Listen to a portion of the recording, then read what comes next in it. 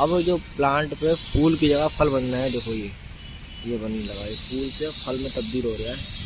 यहाँ से देखो, ये बन गया इतना साइज़ ये साइज़ होना शुरू हो गया, ये देखिए आप, ये है गोवा का साइज़ हेलो दोस्तों, स्वागत है आपका एक नई वीडियो में, जिसमें हम करते हैं पेड़ पौधों से संबंधित बातचीत। दोस्तों तो आज की वीडियो हमारी है गोवा प्लांट्स के ऊपर। गोवा वन के जी के प्लांट्स जो हमारे फ्रूटिंग प्लांट हैं और उनके इस समय क्या कंडीशन है पौधे की, क्या ग्रोथ हो रही है तो वो मैं आपको दिखाना चाहूँगा इस वीडियो के माध्यम से। चलते हैं पौधों की तरफ़। वो पौधे रखे हैं आपके सामने। पहले हम पौधों पर पहुँचते हैं, फिर आपको दिखाते हैं क्या इनमें चल रहा है प्रोसेस में। दोस्तों, अभी फूल आया था तो मैंने सोची थी वीडियो बना दूँ, पर मैंने फूल पे वीडियो नहीं बनाई। अब जो प्लांट पे फूल की जगह फल बनना है, देखो ये।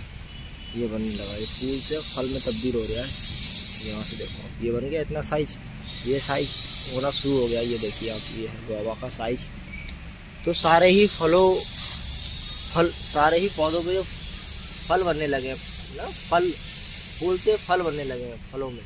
तब भी रोने लगा, सारा अमरूद अमरूद देखते हो तो सही हो रहा है अच्छा हो जाएगा ये हमारे तो मैंने सोची आप लोगों को वीडियो में दिखा दूँ कि भाई अमरूद अब हमारे पास जो वन के जी वाली वैरायटी है एक किलो का एक बनता है, ये मैं इसको दो पार्टों में बनाऊँगा, एक पार्ट आपको अभी दिखाऊँगा और एक जो बनाऊँगा, ये फल तैयार हो जाएगा, लगभग लगभग अच्छी खासी मोटाई पकड़ जाएगा, तब मैं आपको दिखाऊँगा।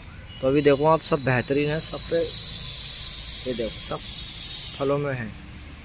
और दिखाऊँ? बहुत सारे हैं, सब तो फूल भी हैं किसी किसी का, किसी फूल है किसी किसी फल बन रहे हैं। सब है बढ़िया फूल। तो आप लोग देख लेंगे और समझ जाएँगे कि इस तरह से बनकेजी वाली वैरायटी होती है और सब पे हमारे फूल, फल में बन चुके हैं। बहुत ही अच्छे लग रहे हैं ये पौधे। तो और ये सब पाँच पाँच छः छः फिट के पौधे भी आप हाइट से देख सकते हो। बहुत मोटे स्टैंड के एक तरह से, मान लो आप बहुत ही पुराने पौधे हैं।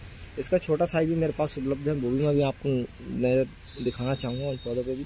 तो आइए आपको दिखाते हैं जो बन के जी का और प्लांट है, हमारे छोटे साइज़ के हैं।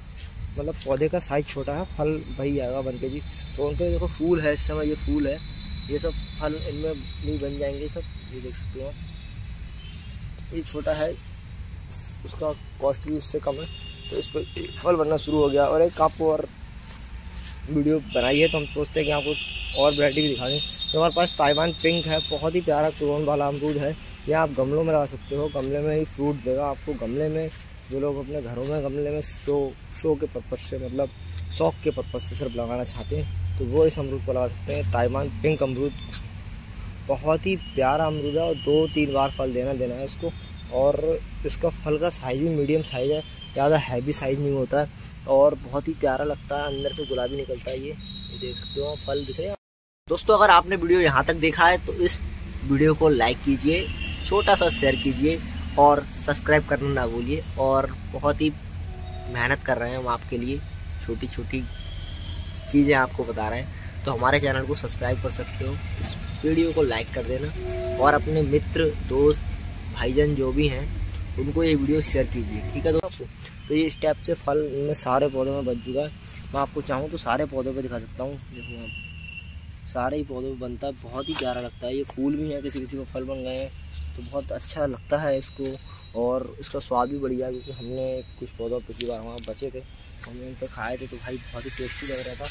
और गोवा, ये आपका ताइवान पिंक गोवा है, बहुत ही बढ़िया रहता है।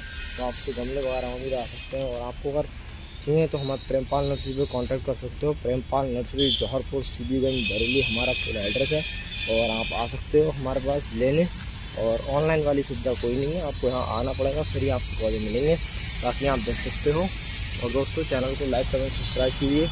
ठीक है, जय हिंद, जय भारत।